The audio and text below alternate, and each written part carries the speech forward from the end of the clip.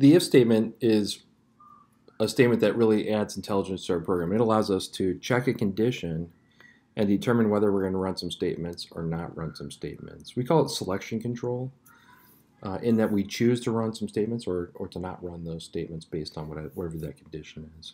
So far we looked at sequential control. So in our program we run statement 1, statement 2, statement 3, and so on in order until our program's done. So let's take a look at an if statement.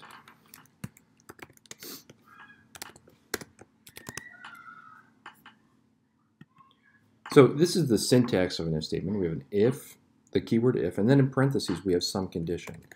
And, and really, I think condition is almost misleading because that condition evaluates to a Boolean value. So really what we have inside of these parentheses is a Boolean value.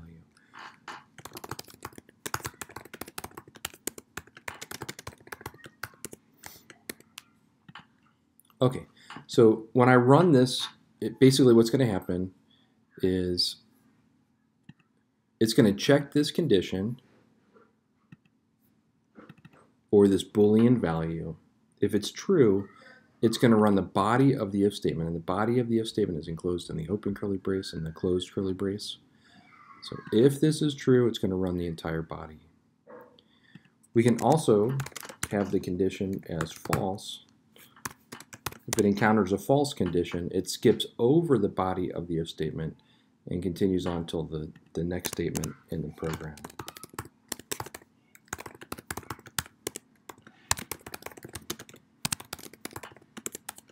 I'm just putting in a Console.WriteLine so we can see it uh, jump over the if body and continue on to the next statement.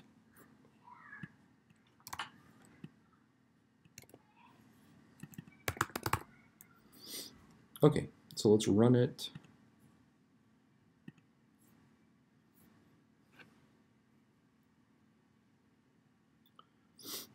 So we can see it encounters the condition and or the Boolean value. And because it's true, we're going to run the body of the if statement. So it's going to output it is true. It's the output window. Next, we're going to check this false condition. If it's false, it's going to skip the if body and jump to the next statement. So if we run this we notice that it skips over the false, the uh, if body and jumps right to that Console.WriteLine statement. So an if statement really, it's allowing us to add some condition to our, our program. Think about the peanut butter and jelly algorithm, right? Now we can, instead of say saying, uh, you know, get a piece of bread, spread the peanut butter, spread the jelly, we can say if the user likes peanut butter, then spread peanut butter. Otherwise, skip over that part. Okay, let's take a look at using some conditions. So I'm going to create an integer variable called speed, and I'll set it equal to 36. And I'll say if speed is greater than speed limit. Let me create speed limit up here. Speed limit. I'm going through a neighborhood. It's 25 miles an hour. So we're going to say if the user speed is greater than speed limit, output slow now. Maybe this is one of those signs that flashes slow now a bunch of times as you're driving by. So let's run it.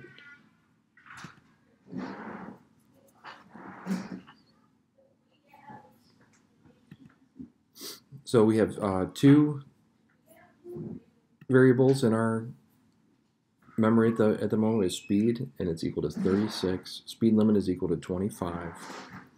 Now we use this conditional operator, this greater than sign, and that greater than sign is going to evaluate to a Boolean value.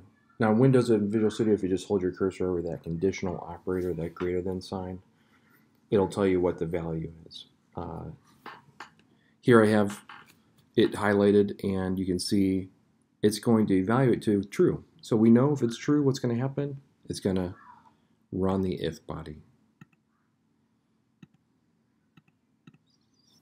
Okay, let's do this. Let's make speed limit 45.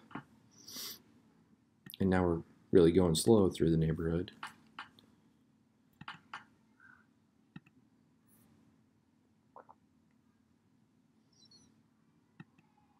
So we've got two values now in memory. We've got speed and speed limit. Speed is equal to 36, speed limit is equal to 45. And now, with this condition, we can see it evaluates to false. So what's going to happen when it's false? Well, we skip over the if body and we go to the next statement. Okay, there's some other uh, clauses we can add to the if statement. One is the else.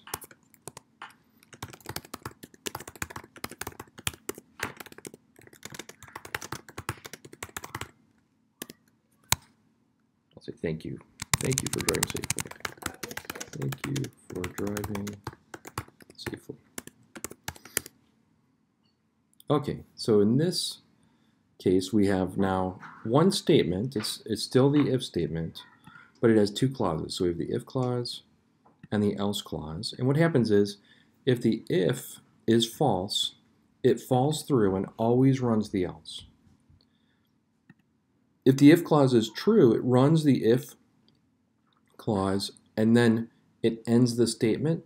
So from here, we run the if body, we encounter the end of the if body, and then we jump to the next statement after the entire if statement altogether.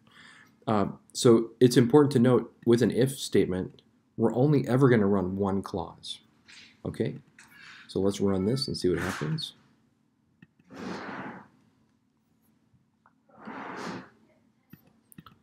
So we encounter speed is greater than speed limit, and in this case it's false. So we're going to jump to the else clause, we run the else clause, and then we're done with the statement. Let's look at it with a true. So now we're going 55 and a 45.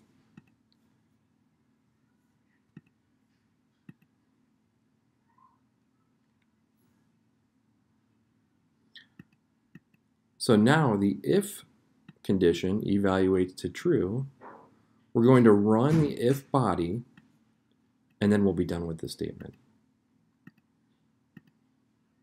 Now we're at the end of the if, and it jumps to the next statement in our program.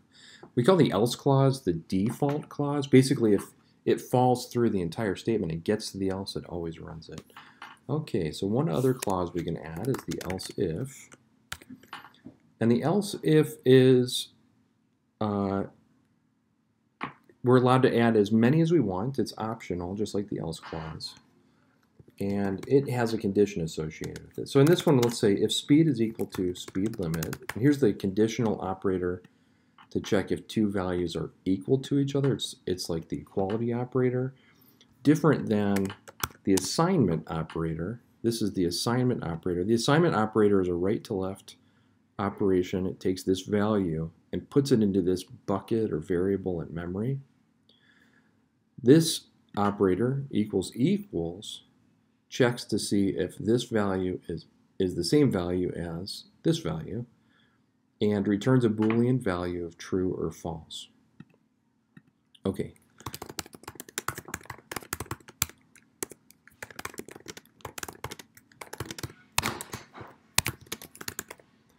So in this case now, if we've got a speed that equals the speed limit,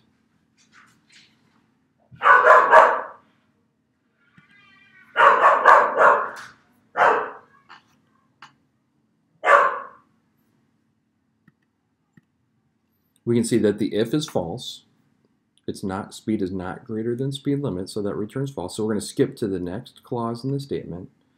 Now it's going to check the condition is speed equal to speed limit, and it is true. So we run the else if body, and then just like we did with the if or the else, we're now we're done with the statement.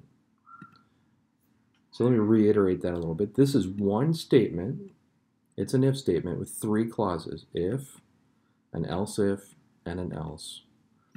Now, we can have um, as many conditions as we want.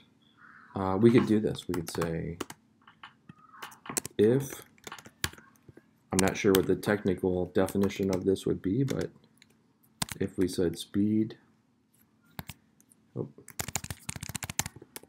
speed is greater than speed limit times 2. I think that's something like reckless endangerment or something. Say way too fast.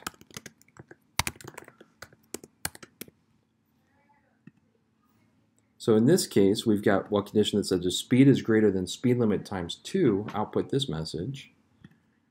Otherwise, if speed is greater than speed limit, output this message.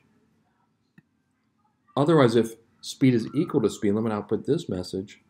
And if none of those are true and we encounter the else, notice there's no condition here, then we run this output statement.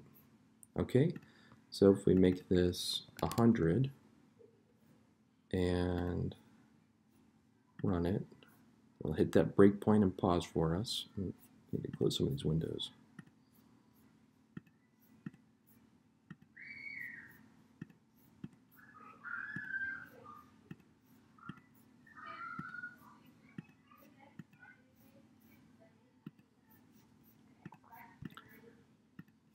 Okay, so we run this,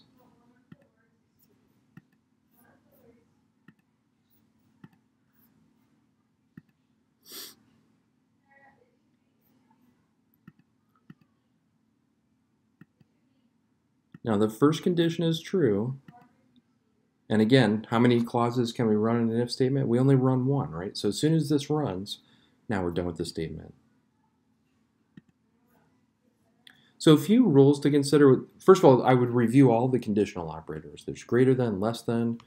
Uh, we have greater than or equal to, less than or equal to, greater than, less than, is equal to. This is not equal to.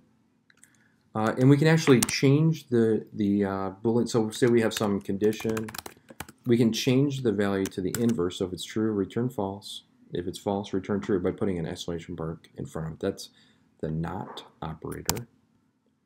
So I'd review those um, Boolean and conditional operators.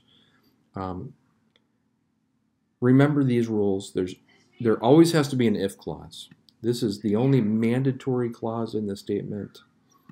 We can have zero or more else ifs. So we can have one else if, we could have no, no else ifs, like our first and second example today. Uh, we could have uh, 30 else ifs if, if we needed to. That sounds like it would be a little messy in code, but we can have as many of those as we want.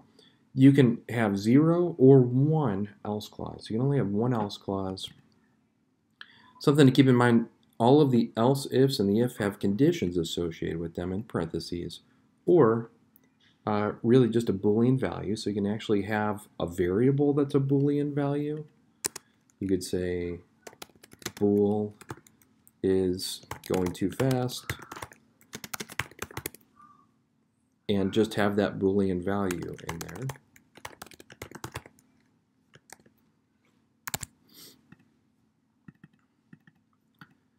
or you or you can have a condition that eventually evaluates to a Boolean value, uh, and that's the normal case, I guess.